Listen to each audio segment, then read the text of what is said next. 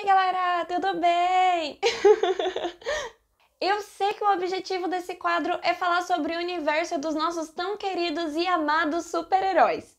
Mas hoje eu vou fazer as coisas um pouquinho diferentes. Nesse vídeo a gente vai conversar um pouquinho sobre a história de Selina Kyle, também conhecida como Mulher Gato, uma das mais importantes e mais queridas vilãs da DC Comics. Something I can do for you, pussycat. I'm looking for the owner of this. Never seen it before. Take a closer look. Mas antes de falar sobre essa personagem maravilhosa, eu quero pedir porque nunca é demais. Já deixa aquele like, se inscreve aqui no canal, coloca nos comentários qual que é o vilão favorito de vocês da DC Comics, já que esse vai ser o primeiro Universos Extraordinários que a gente vai estar tá falando sobre um vilão. Me segue também nas minhas redes sociais que eu tô deixando aqui embaixo porque lá o conteúdo é bem parecido com o daqui do canal e eu ia matar todo mundo por lá, tá bom? Agora, sem mais enrolação, vamos começar esse vídeo!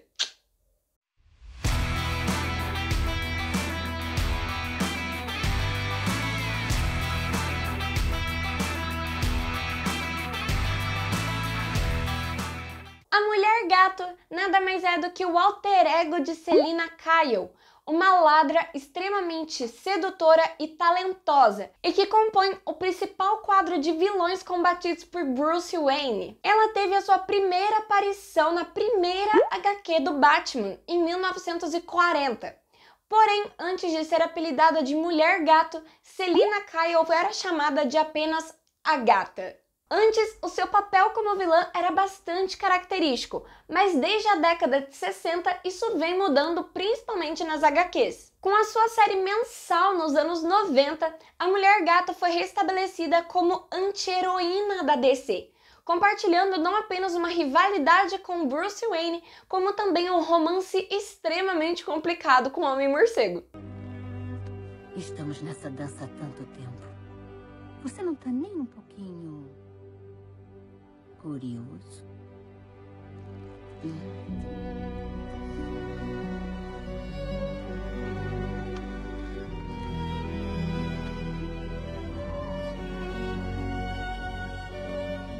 Porém, a sua origem só foi de fato contada na edição zero da HQ Catwoman, que foi publicada em 1993. Nessa HQ vai ser contado que Selina viveu a sua infância em uma moradia extremamente precária em Gotham. E a sua família era completa e totalmente desestruturada. Sua mãe, Maria Kyle, era uma jovem que sofria de depressão e tinha um imenso apego pelos gatos. Inclusive, em vários momentos ela prefere dar carinho aos felinos do que a própria filha. Já o pai Bryce Kyle era um alcoólatra extremamente agressivo e chegou a agredir a esposa diversas vezes na frente de Selina. E justamente para se defender de possíveis agressões, Selina vai passar a treinar artes marciais em um ginásio perto da casa dela. Porém, um dia após voltar do colégio, Selina vai encontrar sua mãe morta dentro de uma banheira na casa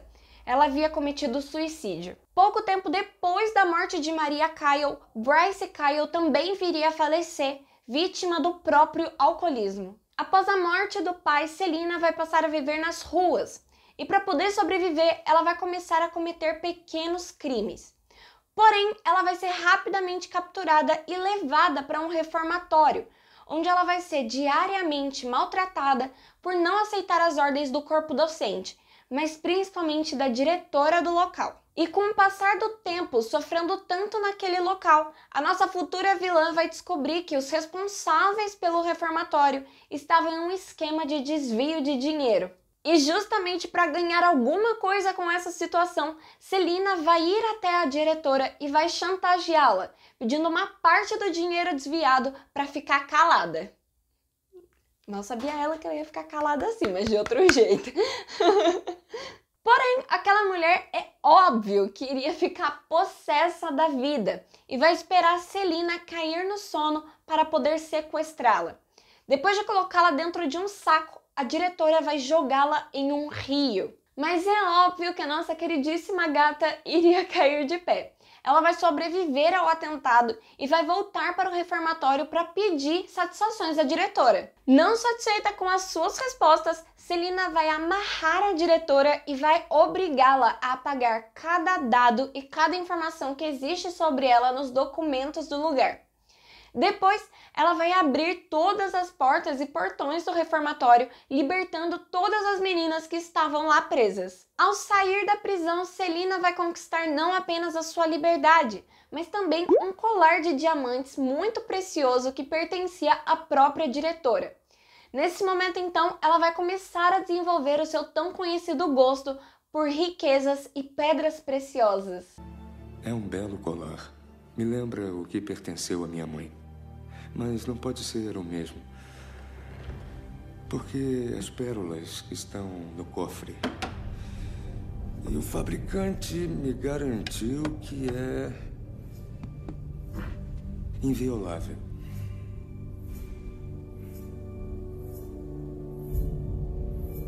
Opa! Ninguém me avisou que era inviolável. Ao voltar para Gotham, ela então vai se abrigar em um antigo prédio abandonado, onde ela recebia visitas constantes de gatos por quem ela acabou se afeiçoando muito rápido. Assim, com as suas habilidades de ginástica e artes marciais, Celina vai voltar a cometer os seus roubos para poder sobreviver. A questão é que seus antigos métodos, digamos que eram um pouquinho barulhentos e colocavam em risco não apenas a sua liberdade, mas também a sua vida.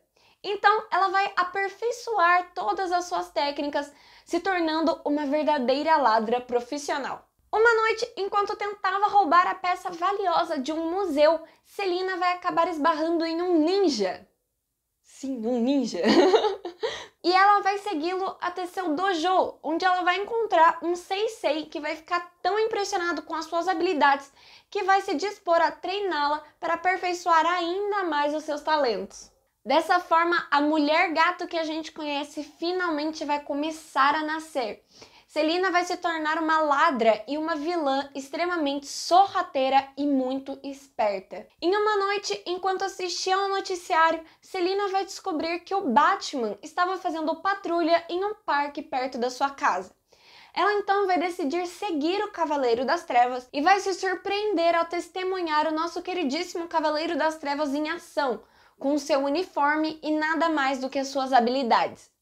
Dessa forma, ela vai se inspirar para realizar os seus roubos. Então, ela vai adotar o nome Agatha e também um uniforme, que consistia basicamente em uma máscara de gato e uma capa vermelha. Mas claro que com tantas aventuras, ela também acabou se metendo em apuros.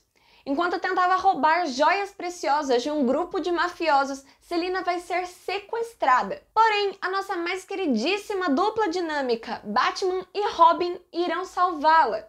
E como forma de agradecimento, Celina vai tascar-lhe um beijo do nosso queridíssimo Cavaleiro das Trevas. Dessa forma, colocando os dois na situação de gato e rato que eles vivem até os dias de hoje. É importante lembrar que o conteúdo desse vídeo foi baseado em duas HQs. A primeira é a edição zero de Mulher Gato, que foi publicada em 1993. E a segunda é na série original de quadrinhos do Batman, que teve a sua primeira edição publicada em 1940. Mas então é isso, gente. Eu espero que vocês tenham gostado desse vídeo. Eu espero que vocês tenham gostado da história da nossa queridíssima Celina Caio. E não se esquece de já deixar aquele like, se inscrever aqui no canal, colocar nos comentários se vocês gostam de vídeos sobre vilões ou não. E me seguir nas minhas redes sociais que eu tô colocando aqui embaixo, porque lá o conteúdo é bem parecido com o daqui do canal e eu ia amar ter todo mundo por lá, tá bom? Mas então é isso, até a próxima e tchau!